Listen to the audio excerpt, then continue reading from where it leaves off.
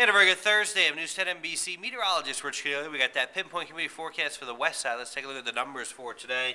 Chilly morning in the 30s, but temperature should climb up nicely by midday, 48 to near 50, and then we'll spend the afternoon in the low to mid 50s out there. Sunshine will mix with a few clouds later in the day. The latest on the weather out for the west side. I'm News 10 NBC meteorologist Rich Caniglia.